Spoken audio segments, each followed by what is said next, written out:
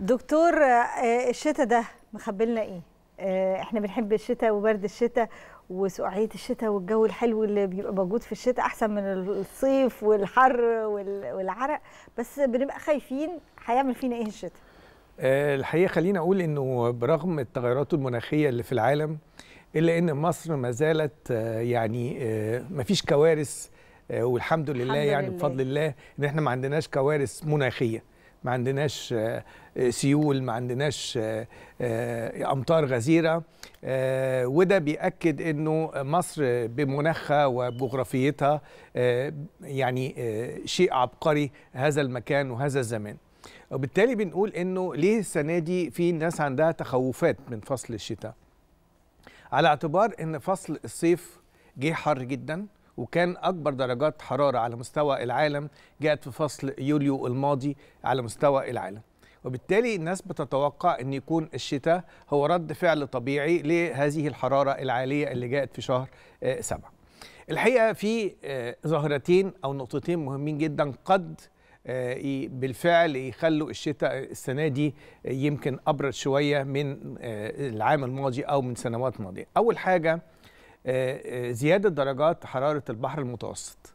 يعني الشهر اللي فات تقريبا سجل في منطقة الشرق الأوسط أعلى درجات حرارة للمية على مستوى آه، سنوات طويلة مضت.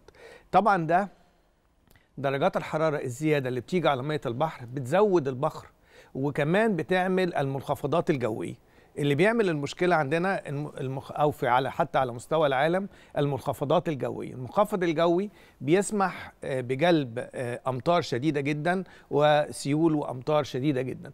وبالتالي في المنطقة الشرق الأوسط أو المنطقة الساحلية قد تشهد أمطار بالفعل شديدة نتيجة زيادة درجات حرارة البحر المتوسط على مستوى آه، يعني مقارن بعدة آه، شهور وعدة سنوات سابقة. دي الظاهرة الأولى. الظاهرة الثانية ظاهرة النينو وإحنا يمكن آه، هذه الظاهرة بتظهر من كل أربع إلى سبع سنوات. السنة دي موجودة عندنا وبدأت في شهر سبعة الماضي ومستمره معانا حتى شهر إبريل القادم. هذه الظاهرة باختصار السواحل اللي عند أستراليا في المحيط الهادي المية بتسخن. وبتتحرك نحو أمريكا الجنوبية. في هذه الرحلة الطويلة بتطلع كميات كبيرة من بخار المية وكميات كبيرة من الأمطار. بتضرب آه، آه، سواحل آه، أمريكا الجنوبية وتؤثر على العالم لمدة آه، قد تتعدى عشر شهور. قد تبقى في مناطق جفاف وفي مناطق بتبقى فيها أمطار وسيول درجات حرارة مختلفة. فهذه الظاهرة أيضا قد تكون عامل من العوامل الذي يؤثر على الطقس والمناخ خلال الشتاء القادم في مصر اللي إحنا بنبدأ فيه جغرافيا اليوم.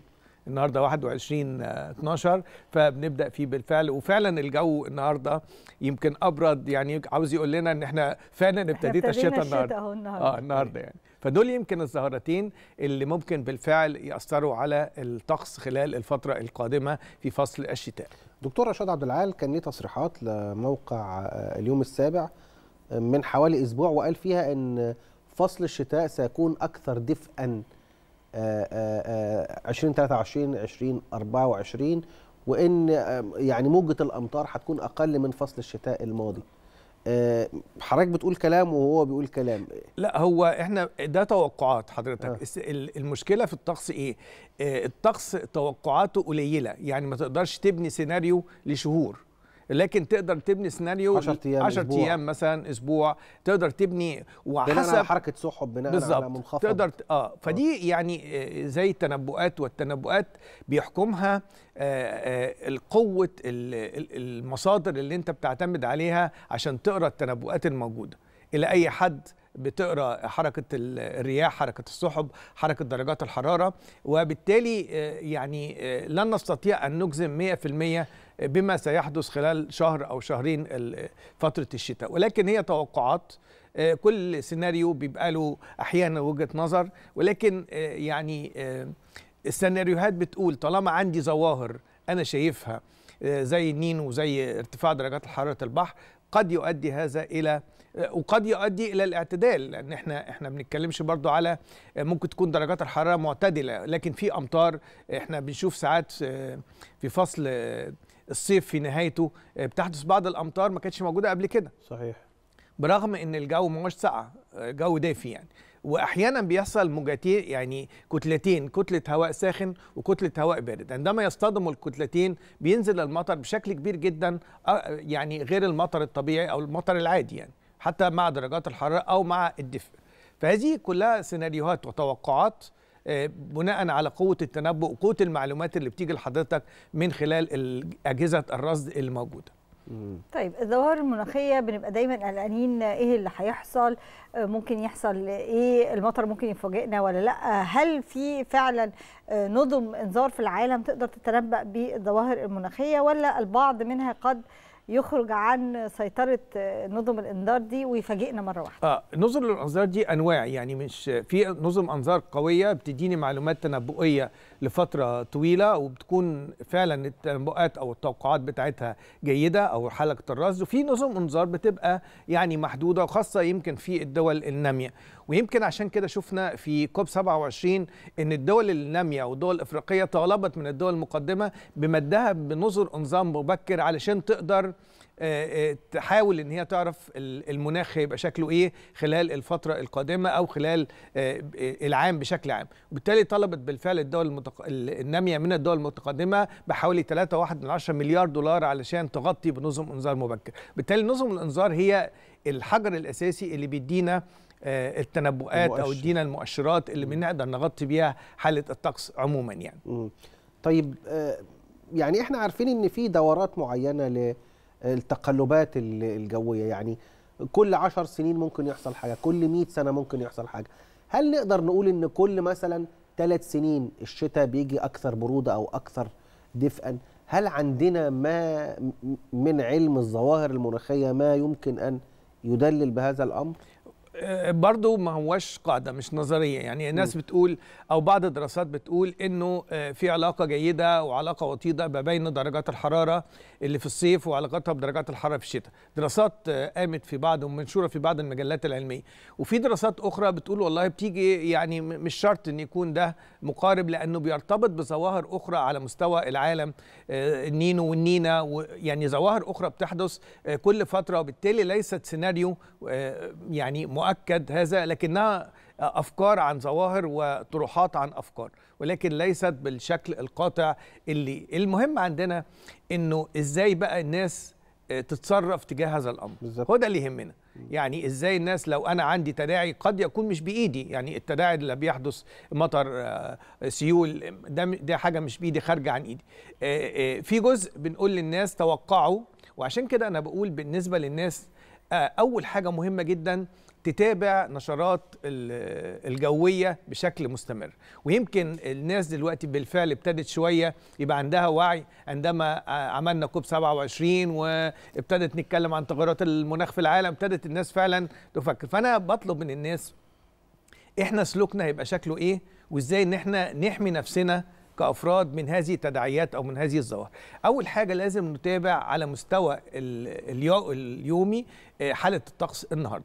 لو أنا شايف إن حالة الطقس في أمطار أو في آه، رياح شديدة أو آخد بقى حرصي إن أنا مثلا آخد معايا الشمسية أي. ممكن أكون في البيت إن أنا ما انزلش النهارده ممكن لو أنا مسافر ما سافرش النهارده وبالتالي ده بيقلل التداعي على ال- الناس إذا ما حدثت أمطار أو حصلت سيول في بعض آه، آه، المناطق وبالتالي ده سلوكنا اللي إحنا يجب إن إحنا نتنبه له ونعمل له حساب ما كانش الأول ده موجود. لا دلوقتي لازم نعمله علشان ممكن نفاجأ بأي تداعي ممكن يحصل لينا. وبالتالي سلوكنا ده مهم. الحاجة الثانية إحنا الحكومة ممكن تقدم لنا إيه في هذا الإطار؟ لازم عندنا بنية تحتية تستوعب كميات الأمطار آه، اللي موجودة اللي هتنزل عشان آه، يعني نقلل من وجود التجمعات الأمطار في في المناطق. والحقيقة يعني آه، بفضل آه، جهود الحكومة وبفضل فخامة الرئيس اللي عامل دلوقتي طفرة كبيرة جدا في الطرق.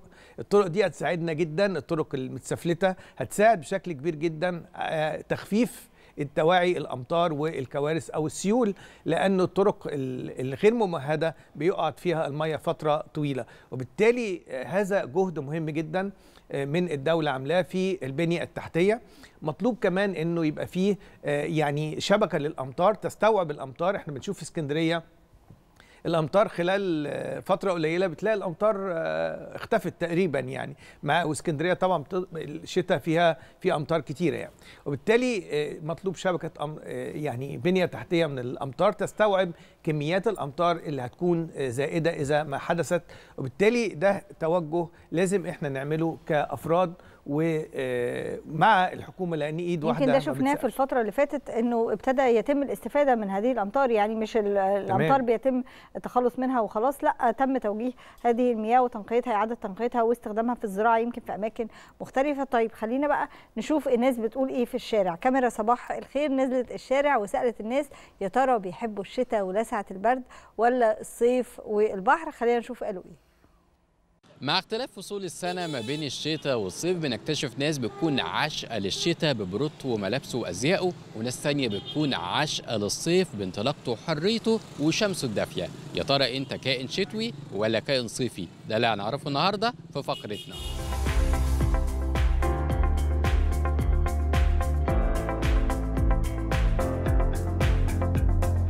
قول أنت كائن شتوي ولا كائن صيفي؟ يعني بتحب الشتاء ولا بتحب الصيف أكتر؟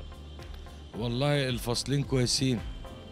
كل فصل ليه ظروفه وبنتأقلم معاها. لا أنا كائن صيفي. ليه؟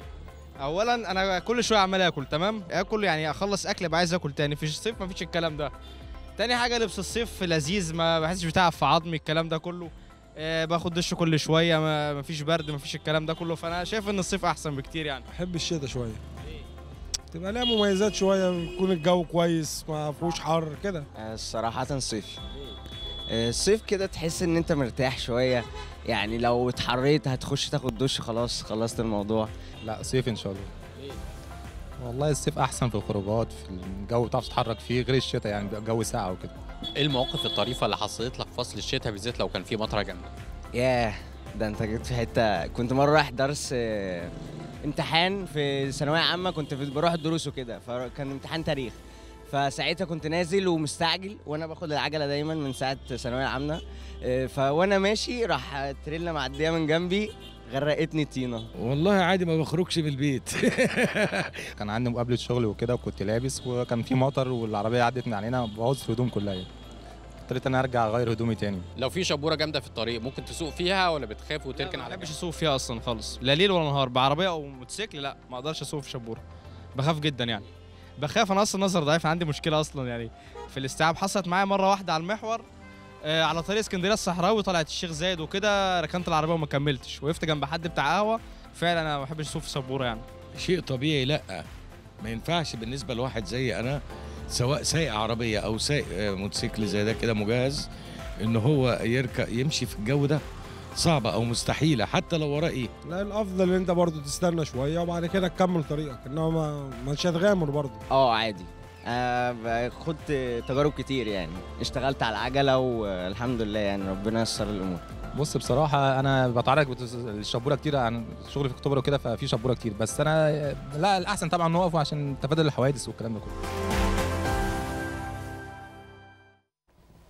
والله أنا باعتقادي إن لا الصيف بقى صيف ولا الشتاء بقى شتاء يعني آه، ولا إيه يا أستاذة منى؟ أحمد الحسيني وهو بياخد آراء الناس في الشارع. الناس كانت حتى حيرانة. الأول قالت أنا بحب الشتاء وبعدين قالت بس الجو كان يبقى يعتدل أكتر من كده. مش عارفة إحنا زمان كنا بناخد التقويم أو ب- مش بناخد التقويم كنا بناخد الأحوال الجوية من التقويم القبطي القديم. كان يمكن إحنا في أقصر أيام السنة وكان زي ما بنقول في التقرير حد من الشباب بيتكلم إنه في الشتاء طول الوقت عمال ياكل. آه بنقول في كياك صباحك مساك أو سيب آه. أكلك من غداك وابتدي في عشاك. يعني ال- الأمثال المصرية كانت هي بتوضح لنا حالة الجو قبل الأجهزة اللي موجودة للتنبؤ دلوقتي. تمام. هو يعني فصل طوبة مشهور قوي إنه بالساعة كبيرة جدا. فصل كياك بيبقى فيه ساعة بس اليوم قصير جدا لأنه أص- آه، أقصر أيام في السنة هي هذا الشهر. وبعدين أمشير بقى يعني يقول لك أبو الزعابيب زعابيب. الكتير والحاجات دي كلها. فكان بالفعل في آه، يعني أشهر كده بيبقى معروف فيها ويخلي الصبية كذا والعجوزة كذا آه. من كتر السقعه يعني في ال- كركوبه ده آه، طوبة ف- اللي كان بيخلي فبالفعل ده كان موجود والناس بتبقى عارفة آه، تقدر تعمل إيه في هذه ال- بس عاوز أقول إن ال- الناس ال- ال- المزارعين أو الفلاحين كانوا البيوت نفسها حضرتك بتبقى بالطوب الني مم. والطوب اللبن ده أو الطوب الني بيحفظ درجات الحرارة داخل البيوت كأنه فرن أنت مشغلة. فيه صحيح. مع إنه لا كان تكييف ولا كان سخن ولا بارد ولا أي حاجة. مع وجود بقى السيراميك والمباني الحديثة والأسمنت المسلح بقت البيت ساقعة جدا. لازم تضطري إنك تشغلي تكييف أو مدفأة علشان تقدري تدفي الجو.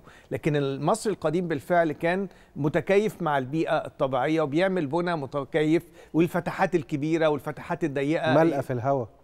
آه يقول لك طاقة. يعني طاقة دي يعملها في ال في ال في القاعة. يعني القاعة دي اللي هي الحاجة الصغيرة الدافية في الشتاء يقول لك نقعد في القاعة والطاقة الصغيرة عشان يبقى إيه الجو دافي وهكذا يعني. آه في حاجات كتيرة وكان السقف العالي كمان مختلف عن السقف الواطي طبعا. طبعا طبعا. فكل الحاجات ديت طبعا في الصيف بتهوي أكتر. كان ال- الحيطة حوالي خمسة متر.